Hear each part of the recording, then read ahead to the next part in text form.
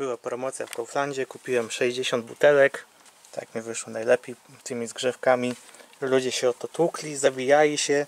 Za każdą jedną trzeba było przejść przez kasę jeszcze raz. To ludzie jak mrówki chodzili w tej we w tej, w tej we w te. Ta kola ogólnie jest litrowa, ona się opłaca. Tylko, że się już kończy promocja. Znaczy ten czas, bo mamy do 15.07.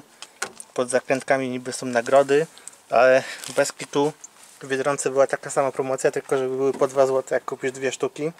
Kupiłem z 40 butelek. Żadna nie była wygrana i nie sądzę, żeby któraś z tych 60 też była wygrana.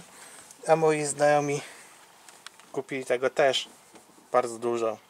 Nie wiem, może z 400, z 500 i żadna zakrętka nie była wygrana.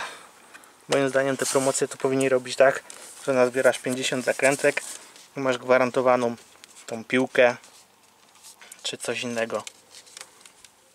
Tak jak mówię jeszcze raz, moi znajomi chyba razem ze mną z 300, z 500 zakrętek sprawdzili i nie, nie, nie ten.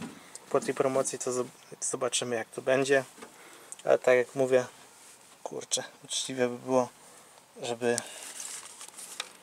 za 50 zakrętek dostać tą piłkę. Już nawet nie chodzi o kasę.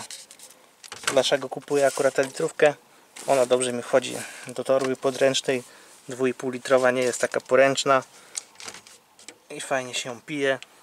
Tutaj 3,40 faktycznie one, one tyle kosztują.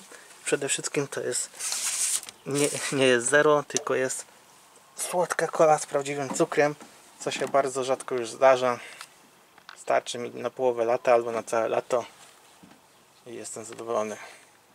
Oprócz tego, że, że niczego nie wygram i prawie nie wygrałem i nie wygram, bo się już kończy to, a potem nie wiem czy uznają cokolwiek, ale jak mi się coś trafi pod zakrętką, to ten, to, to wam powiem.